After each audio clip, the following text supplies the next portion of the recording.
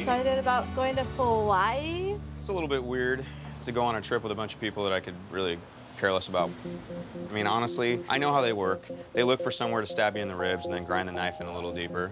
The ladies know we're married now, so I think they'll finally leave us alone. So you did tell them all in Palm Springs that we are uh, married.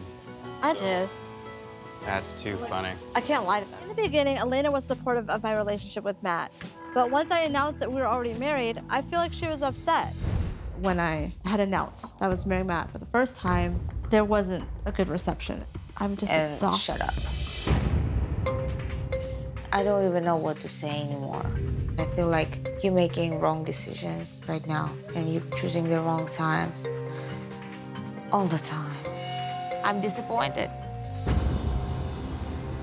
I really cherish friendships. I'm I see that. very protective. Right.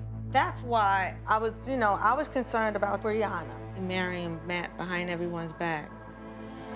I feel like the reason she did that is because she felt attacked and she thinks that her friends are just, you know, not supporting her and she's broken. Yeah, she's real broken and fragile.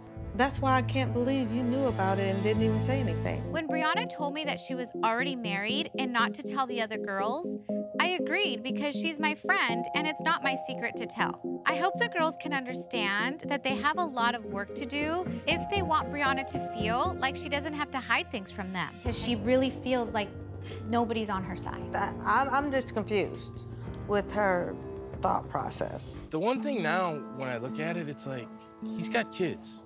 How did he leave? He just left. The craziest thing about Matt moving down here and marrying Briana is that he left two kids up north with his ex. There's so many people that really want children, and Matt just up and left his. Cool, good guy.